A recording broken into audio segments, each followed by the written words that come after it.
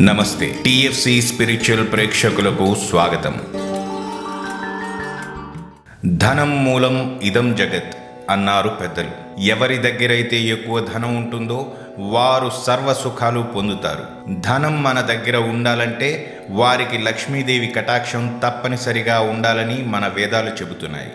కావున ఆ లక్ష్మీదేవి కటాక్షం గురించి సమస్త హిందువులు ఎన్నో పూజలు పునస్కారాలు చేసి ఆవిడ ఎదురైనప్పుడు మాత్రం కంగారు పడతారు. లక్ష్మీదేవి మనకి ఎదురు కావడం ఏమిటి? ఆవిడ ఎదురైతే సంతోషించడం మానేసి కంగారు ఎందుకు పడతారు అని అనుకుంటున్నారా? దానికి సమాధానం నేను ఈ వీడియోలో చెప్పబోతున్నాను. సామాన్యంగా మనం రోడ్డు మీద వెళుతున్నప్పుడు మీకు ఒక రూపాయో రెండు రూపాయల నాణ్యమో దొరికితే చాలామంది కంగారు పడతారు. ఆ నాణ్యాలు మన దగ్గర ఉండకూడదు అని ఏ గుడి హుండీలోనో పారే నదిలోనో వేస్తారు. కానీ మీరు అలా చేస్తే అది చాలా పెద్ద తప్పు అంటుంది శాస్త్రం. ధనాన్ని లక్ష్మీదేవిగా మనం కొలుస్తున్నాం.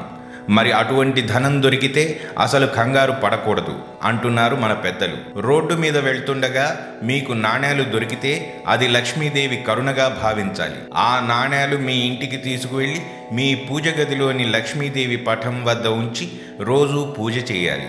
అలా చేస్తే మీరు ఆర్థికంగా కోలుకుని బాగా ధనం సంపాదించి మీరు ధనవంతులవుతారని మన శాస్త్రాలు చెబుతున్నాయి. అలా కాకుండా ఆ నాణ్యాలను గుడి హుండీలో వేసినా నదిలో పారవేసినా లేదా వాటిని ఖర్చు పెట్టినా లక్ష్మీదేవి ఆగ్రహానికి లోనవుతారు. కాబట్టి ఇకపై ఎప్పుడైనా రోడ్డుపై నాణ్యాలు దొరికితే పైన చెప్పిన విధంగా చేసి లక్ష్మీదేవి కటాక్షానికి పాత్రులు కావలసిందిగా ఆశిస్తూ సర్వే జన సుఖినో భవంతు. మరిన్ని మంచి విషయాలతో మళ్ళీ మీ ముందుకు వస్తాను.